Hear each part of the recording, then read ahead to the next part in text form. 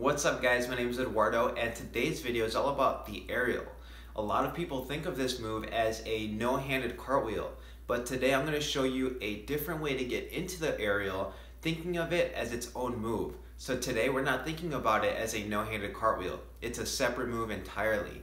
That's going to get you to work on your flexibility, work on a different kind of start that you might be used to, but also get rid of the fear of performing an aerial by going overhead without your hands. So let's get started. Before attempting the aerial, you want to get nice and warm, stretch out your hamstrings, just make sure that you have adequate hamstring flexibility.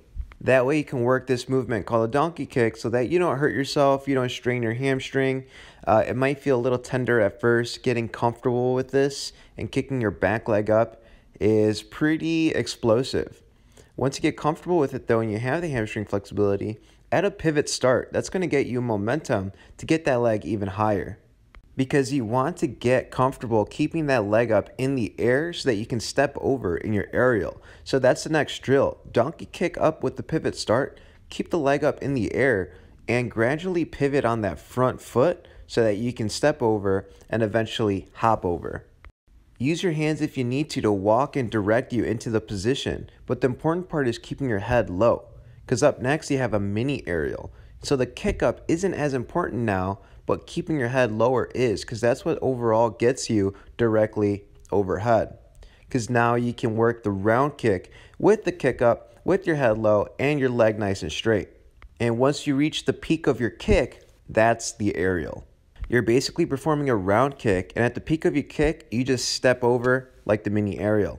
This will work with your legs bent as well. You're still kicking your leg up, you're still keeping your head down. The only difference is your leg is a little bent. That might get you a little over the fear, a little over the explosiveness, but gradually work to keeping your legs straighter.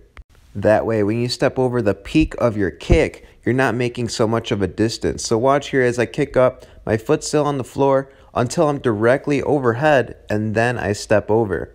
So basically kick up and switch legs at the peak of your kick. So waiting last minute to switch legs. And last thing here, look at the floor as you perform the aerial. Try to look of a distance between two to three inches from your leading foot when you go and perform the aerial. If you enjoyed watching this video, please hit the like button and subscribe if you want to watch more videos like this one. Until next time.